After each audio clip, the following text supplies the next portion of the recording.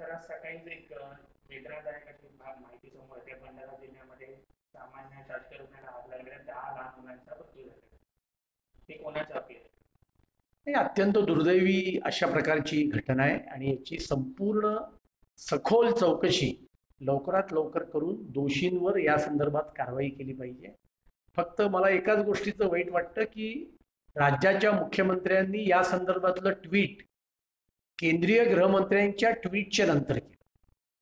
आणि त्याच्यामुळे प्रशासन राज्यातलं किती सक्रिय आहे हे आपल्या लक्षात येत आहे.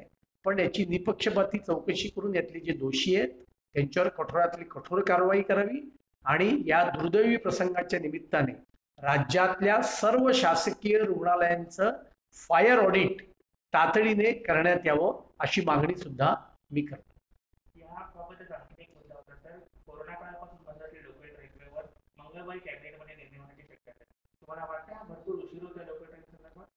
नाही मंदिरं उघडायचा प्रश्न असेल किंवा लोकल सर्वसामान्यांकरता चालू करण्याचा मुद्दा असेल राज्यातले आणि मुंबईतले लोक देव पाण्यात बुडवून बसलेले आहेत. पण राज्याचे मुख्यमंत्री कधी प्रसन्न होणार हे काही कळायला मार्ग नाही. त्यामुळे मंगळवार काय? लवकरात लवकर त्या लोकल चालू केल्या पाहिजे. त्याच्यार्थ कॅबिनेटच्या बैठकीची काय गरज आहे? हा निर्णय तर मुख्यमंत्र्यांनी आणि ती जी समिती आहे या समितीने करायचा निर्णय केंद्र सरकार रेल्वे मंत्रालय केव्हाच तयार आहे? पण राज्याचे मुख्यमंत्री निर्णय घेण्यामध्ये अत्यंत संथ पद्धतीने निर्णय घेतात आणि त्याच्यामुळे लवकरात लवकर लोकल मुंबईकरांच्या सेवेत पुन्हा रुजू करावी अशी मी मागणी करतो.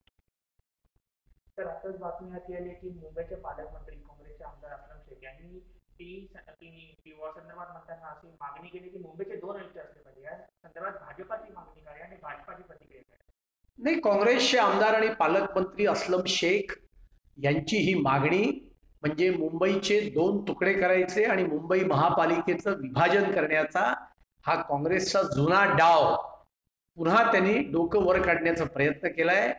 मुंबई शहराचे तुकडे पाडण्याकरता किंवा मुंबई महापालिकेच्या दोन दोन महापालिका करण्याच्या या काँग्रेसच्या डावाला भारतीय जनता पार्टीचा कडाडून विरोध असेल आणि रस्त्यावर येऊन आम्ही संघर्ष करू आणि काँग्रेसचा मुंबईचं विभाजन करण्याचा डाव हाणून पाडल्याशिवाय राहणार नाही हा इशारा मी या निमित्ताने देऊ